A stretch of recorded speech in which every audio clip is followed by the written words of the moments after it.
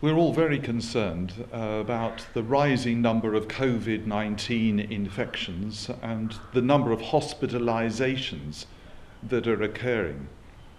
And even more, we're worried about this new variant of the virus which is emerging, which seems to be very easily transmissible, though thankfully not more virulent. And in that concern, we pray particularly for our, fantastic NHS and we give them our love and support for the immense strains and stresses that they're enduring at this time.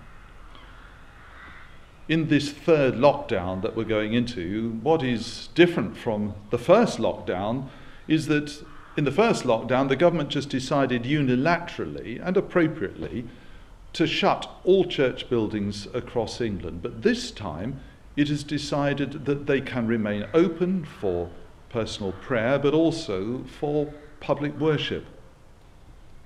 And the reason the government has decided that, because it was quite clear that the number of COVID 19 infections that arose from places of public worship were minuscule. They were a tiny fraction of the thousands that have happened which is why I want to pay warm tribute to our clergy, our readers, our lay leaders, our church wardens, because they work fantastically hard to ensure that our churches are as safe as they can be.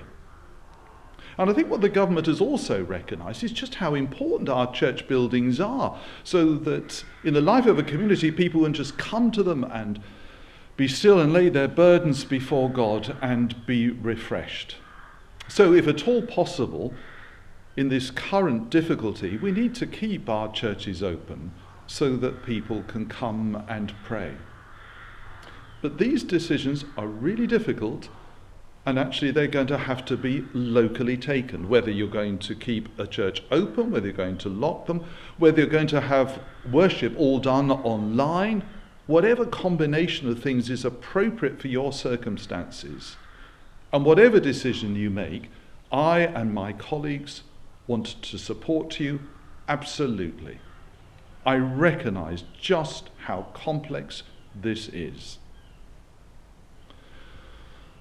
One of the things about this lockdown is the fact that I don't know how long it will take, but it could be weeks, it could be months. And so, as well as being super cautious, we also need to be resilient, which is why we need to be looking out for one another. Because there are plenty of issues, and particularly amongst younger people, as well as those who live by themselves, to do with the fragility of our mental health. The government can do many things, but what the government cannot legislate for is generosity, for kindness, for trust, for friendship. Those are things you can't buy in the shops either. They're things that we discover, they're things that we share, they're things that we build together because it's the stuff that it glues communities together. And at our best, that's what Christian people are all about. We've got a lot to do and to contribute to the life of our communities here in Devon at this critical time. So, as we begin this lockdown, I pray for you and with you, for our people of Devon and our country, that God may protect us and that we may make wise decisions. And so I share with you the prayer that was written when this pandemic first hit our country. Keep us, good Lord, under the shadow of your mercy in this time of uncertainty and distress sustain and support the anxious and fearful, and lift up all who are brought low, that we may rejoice in your comfort, knowing that nothing can separate us from your love in Christ Jesus our Lord. Amen. Do all that you can to remain safe.